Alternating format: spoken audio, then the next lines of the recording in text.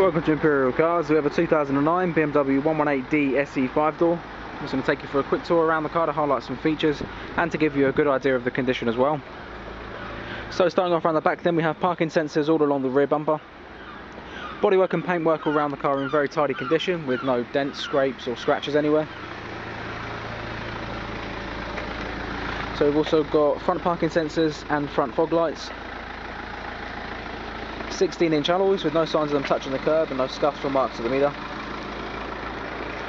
Come on the other side and take a look in the back of the car first of all. We've got black cloth upholstery with Isofix child seat supports and no rips, tears or stains to the seats front or back. Very spacious front cabin.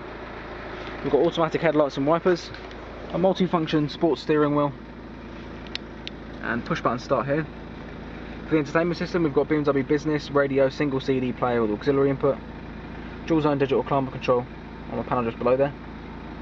This car we also have the comfort package which includes dashboard storage compartments and some cup holders in the uh, centre console just there. It's got automatic start stop and the onboard computer shows you distance to empty, average fuel consumption and average speed and the car covers 60,000 miles. So a brief reminder as well that all of our cars are RAC inspected and price checked on a weekly basis. If you'd like any more information, please don't hesitate to give us a call. Thanks for watching.